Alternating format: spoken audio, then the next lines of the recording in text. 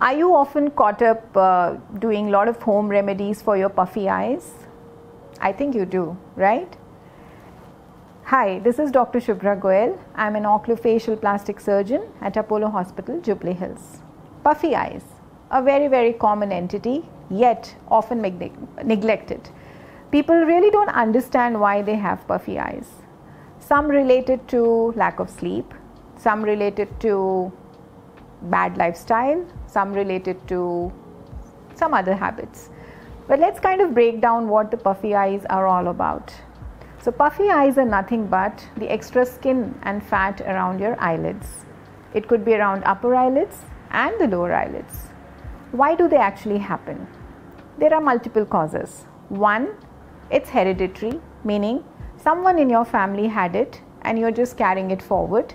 So, it can happen at any age in your lifetime but particularly it happens as an aging process.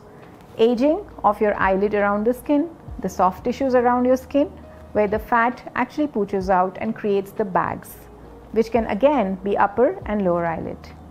In addition, in some individuals, if they have diseases like thyroid, renal disorders or kidney disorders, diabetes, hypertension, the fluid which accumulates at the cellular level can weaken the tissues and make them age faster.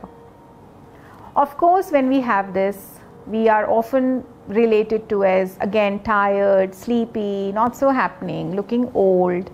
And these expressions are not taken well in today's society, no matter what age group we belong to. The treatment remedies are very easy. Unfortunately, home remedies do not work because again there is a structural disorder where the skin has become loose or the fat has come out. So, if you have a puffy upper or lower eyelid, you need to reach out to the specialist to get it sorted.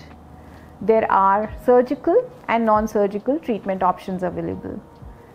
Based on the degree and the severity of how much is the extra skin and fat, your specialist will decide which treatment is best suited for you because not every treatment suits every individual.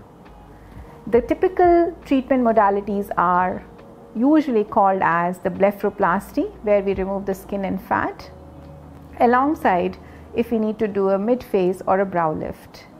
In addition, the skin care, Botox, fillers, injectables are other treatment modalities.